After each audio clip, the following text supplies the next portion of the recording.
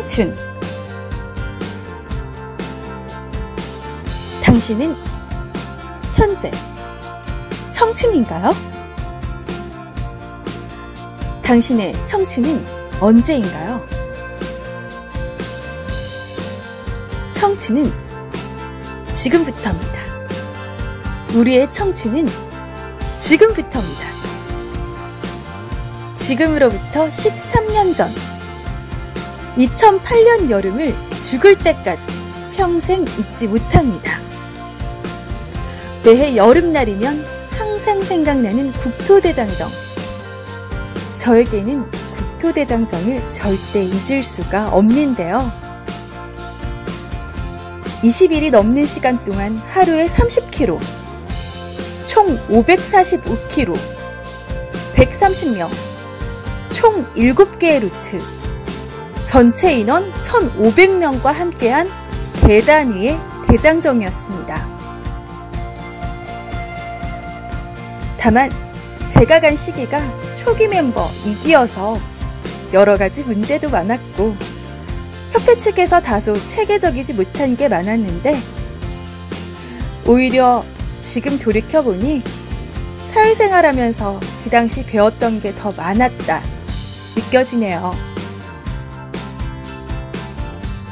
흔히들 국토하면 바카스 대장정 많이 떠올리시죠? 현재는 바카스 말고도 여기저기 많이들 생겼지만 천명이 넘게 움직이는 국토대장정은 제가 선택한 이곳밖에 없습니다. 모든 것을 자급자족, 수경지부터 루트까지 다 설계하고 스텝부터 관리까지 모든 것들을 청년들이 다 도맡아서 합니다. 그래서 국토대장정을 하고 끝나면 3년이 지나 더 깨닫게 되고 5년이 지나면 더욱 많이 깨닫게 됩니다. 단순히 걷는 것. 완주가 목적이 아니라 그 과정이 얼마나 고귀하고 소중했었는지 살아가면서 오래도록 많은 것들을 깨닫게 해주거든요.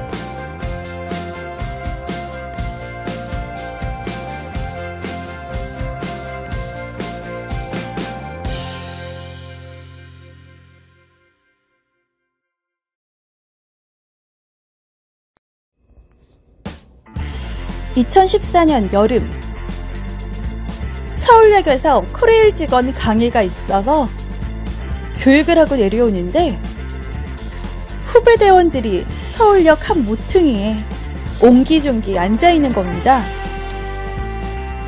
반가운 마음에 나는 이기 선배다 했더니 모두 꾸벅 인사를 하더라고요.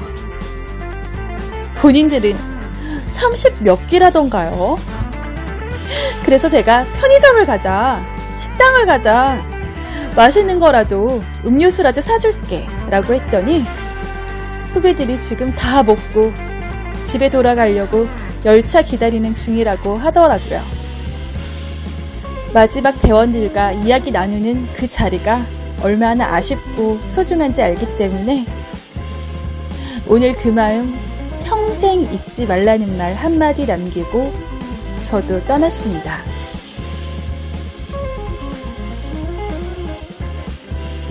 젊을 때 도전하라.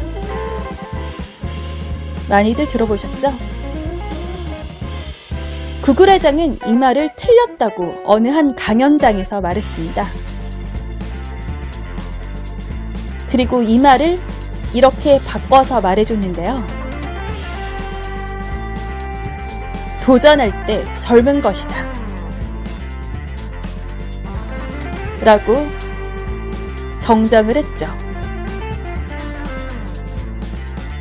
젊을 때 도전하는 것이 아니라 도전할 때 젊은 것이라고요.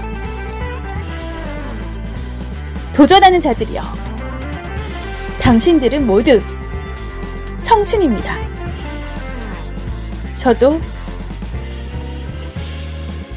국토대장정을 한 지 벌써 오랜 시간이 흘렀는데요. 아직 청춘의 마음을 가지고 도전을 하려고 합니다.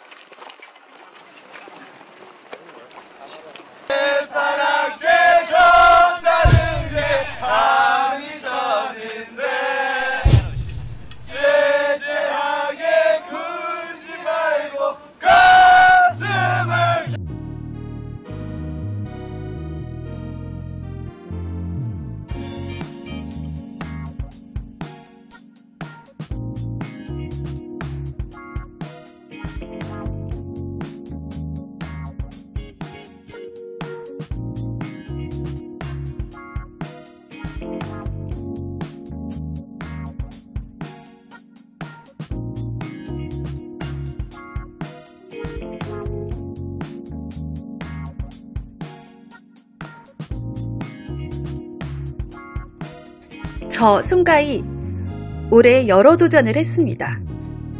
케이크 디자이너 도전부터 자격증 공부도 다시 했고요. 체중도 많이 감량했습니다. 지금까지 금주도 지키고 있고요. 그리고 아직 여러분에게 말하지 못하는 도전이 많이 남아 있습니다. 기대해 주세요. 저는 영원히 도전하는 청춘으로 살아남을 겁니다. 화이팅!